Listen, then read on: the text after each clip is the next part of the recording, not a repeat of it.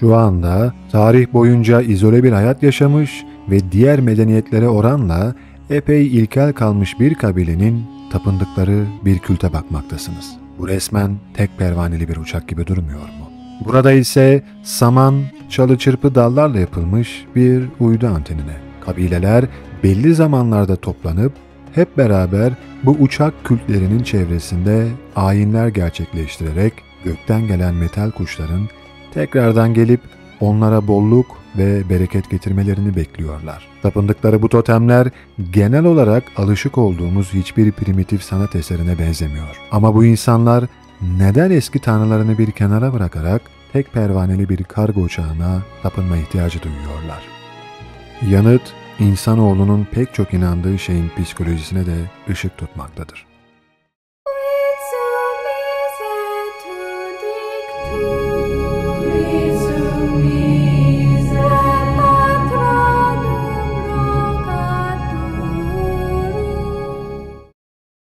Tropik adaların derinliklerinde modern dünyanın gürültüsünden uzak, izole yaşamlarını sürdüren ilkel toplulukların inanç sistemleri arasında oldukça dikkat çekici ve şaşırtıcı bir fenomen bulunmaktadır.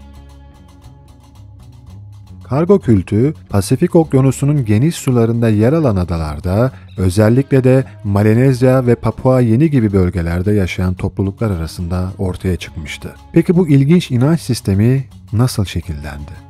Büyük okyanusun ortasında küçük bir ada devleti olan Vanuatu, keşifler çağının başlamasıyla 1700'lere kadar çoktan keşfedilmiş ve yeri belirlenmiş bir adaydı. Fakat ne yeraltı ne de yerüstü kaynakları bakımından zengin sayılırdı. Dolayısıyla hiçbir işgalci devletin dikkatini çekmeyip unutulup gitmişti. Ada tamamen izole olduğundan ve kimsenin umurunda olmadığından tarihsel ve teknolojik hiçbir gelişimin farkında dahi olmadan aynı ilkelliğini sürdürmeyi başarmıştı. İngilizler, Fransızlar ortak olarak yönetmeye ancak 1906'da başlamışlardı. Burada sadece birkaç tropikal meyve yetişiyordu, dolayısıyla pek de dikkate alınası bir sömürge bölgesi sayılmazdı. Ada 1980'de bağımsızlığına kavuşabilecekti. Bu adanın tarihi 2. Dünya Savaşı ile kökten bir değişime uğrayacaktı. Japonya, çevresindeki tüm ada devletlerini hatta Çin'i işgal etme planı içerisindeydi. Adanın konumu batılı devletler için bulunmaz bir nimet haline gelmişti.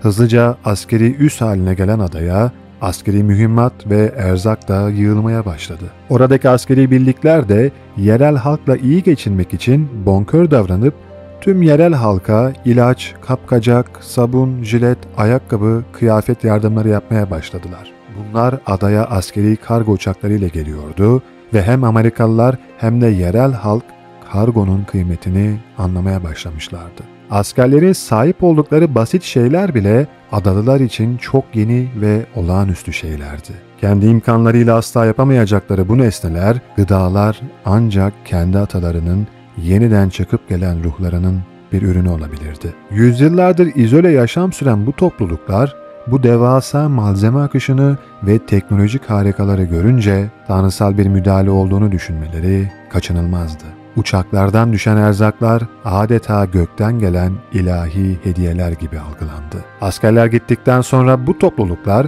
tanrısal güçlerin tekrar bu tür hediyeler getireceğine inanmaya başladı. İnanışlarına göre bu yabancılar tanrıların elçileriydi ve doğru ritüellerle tekrar bu değerli kargoları getirebilirlerdi. Yerel halk fark etmişti ki gökten gelen metal kuş için bu insanlar düz uzun bir yol yapıyor ve dibine bir kule inşa ediyorlardı. Kenarlarına da ışıklar koyunca işlem tamamdı. Bu muhtemelen inanç ritüelinin bir parçasıydı. Yerel halk kargo tanrısının yeniden göğü yarıp gelmesi için bunun elzem olduğunu fark etmiştiler. Nihayetinde tanrıları memnun etmeliydiler. Aynısını yapmaya karar verdiler. Bütün dünya birbirinin boğazına yapışıp dünyayı paylaşmaya çabalarken bu bir grup insanın derdi başkaydı. Yerli halklar askerlerin davranışlarını taklit etmeye başladı. Sahte uçaklar ve hava pistleri inşa ettiler. Askeri üniformaları andıran giysiler giydiler ve radyo antenleri yaparak iletişim kurmaya çalıştılar. Tüm bunlar tanrıların onlara tekrar kargo göndermesi umuduyla gerçekleştiriliyordu. Fakat yolunda olmayan bir şeyler vardı. Askerlerin yaptığı ritüellerin aynını yapmalarına karşın gökten metal kuş gelmiyordu. Bu işte bir terslik olmalıydı. Tanrıları memnun edememişlerdi. Kafa yorup ritüellerini değiştirmeye karar verdiler. Örneğin yaptıkları kukla havalimanının yanına metal kuş gelince yalnızlık çekmesin diye bu gördüğünüz kukla uçakları yaptılar. Tanrılar yine memnun değillerdi. İçlerinden bir kısmı tanrılarının adını öğrenmek için askerlerle iletişime geçmiş ve yıllarca tapınacakları tanrıların adlarını çoktan öğrenmiştiler. Ada halkının bir kısmı aslında savaş pilotu olan John Fromm'a taparken bir kısmı Bahriyeli Tom anlamına gelen Tom Navi'ye tapmaya başlamışlardı. İngiliz birlikleri ise kargo emrini veren esas kişinin 2. Elizabeth'in kocası 2. Philip olduğunu söylemişti. Belki bu aralarında bir şaka konusuydu. Yerel halkın bir kısmı ise bu şakayı ciddiye alıp kendilerine kargo göndersin diye 2. Philip tanrısına tapmaya başladılar. Kargo kültleri Batı'nın bu topluluklar üzerindeki derin etkisinin ve kültürel çatışmaların bir yansımasıdır. Batılı gelişmiş ülkeler teknolojik üstünlükleri ve malzemeleriyle bu izole toplulukların gözünde tanrısal bir statüye taşımışlardır. Günümüzde halen kendi yaptıkları Kızıl Haç ve İngiliz bayraklarının yanına USA yani United States of America yazarak akşam olunca meşaleleriyle tanrıları bekleyen inananlar günümüzde devam ettiği tespit edilmiştir. Malenezya, Papua Yeni Gine ve bazı minik ada devletçiklerinde kargo kültü çeşitli biçim ve şekillerde ortaya çıkmış ve çevresine çok hızla yayılmış bir inanç fenomeniydi. Dönemin en yüksek teknolojik yeniliklerine hazırlıksız yakalan ilkel kabileler bu duruma mantıklı bir açıklama getirebilmek için doğaüstü yollara başvurmayı tercih etmiştiler. İnsanlığın ilk başlangıç dönemlerinde de inançların çoğunun aslında doğayı ve bilmedikleri şeyleri anlamlandırma çabasının sonucu olduğunu biliyoruz.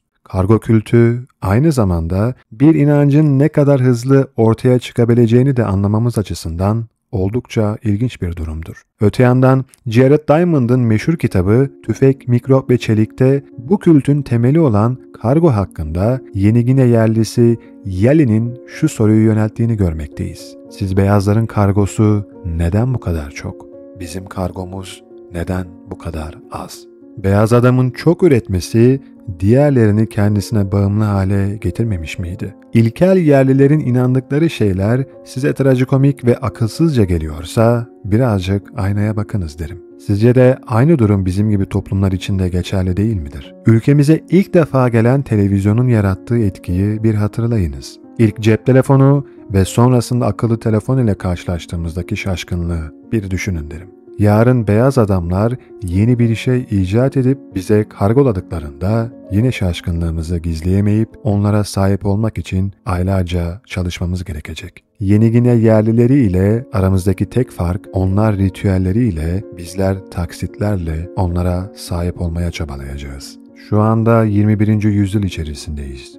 Fakat her ülke aynı yüzyılı yaşamamaktadır. Orta Doğu ya da Afrika'nın yaşadığı 21. yüzyıl ile İskandinav ülkelerinin yaşadığı sizce aynı çağ mıdır? Her ülke modern çağa farklı zamanlarda girip farklı dönemlerini yaşamaktadır. Batılı yenilikleri zor kabullenen coğrafyalardan Japonya'nın atasözlerinden biri yakala ve onu geçtir. Bizim gibi kültürlerde ise ilim Çin'de dahi olsa gidip onu alınızdır. İlmi takip etmenin önemini anlatan bu sözü belki de güncelleme zamanımız da gelmiştir. Bizim artık beyaz adamın yaptığının peşine düşmek yerine belki de kendimiz o beyaz adam olup kargolarımızla dünyayı peşimize düşürmeliyiz. Son olarak bu konuyu eğlenceli bir şekilde ele alan Tanrılar Çıldırmış Olmalı filme de bir göz atabilirsiniz. Ve izlediğiniz için teşekkür ederim renklerle ve sanatta kalın.